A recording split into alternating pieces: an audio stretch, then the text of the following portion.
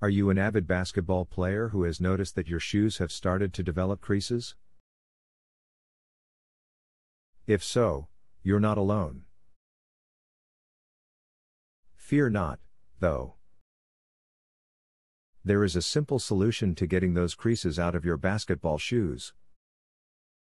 Just follow these steps and you'll be sure to have your shoes looking as good as new in no time.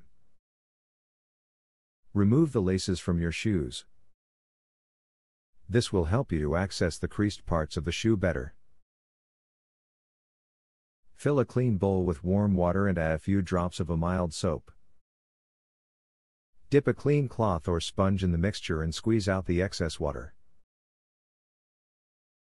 Gently rub the cloth or sponge over the creased parts of the shoe.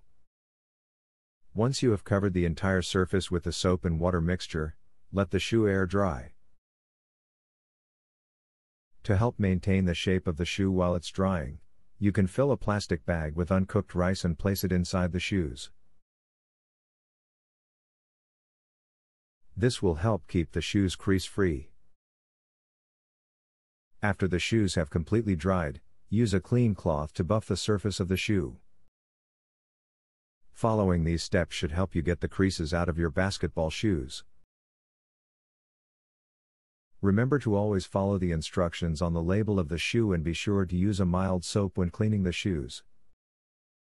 With a little bit of effort and the right cleaning materials, you should have your basketball shoes looking as good as new in no time.